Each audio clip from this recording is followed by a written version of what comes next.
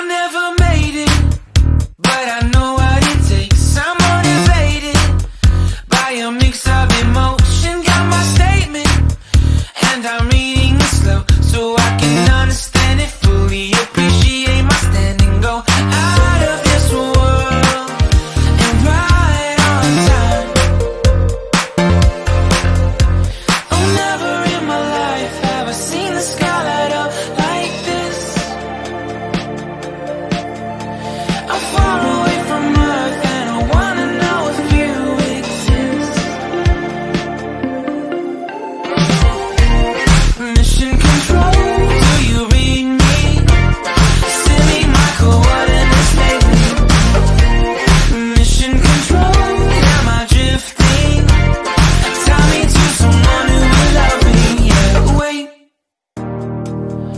think I'll last a bit longer.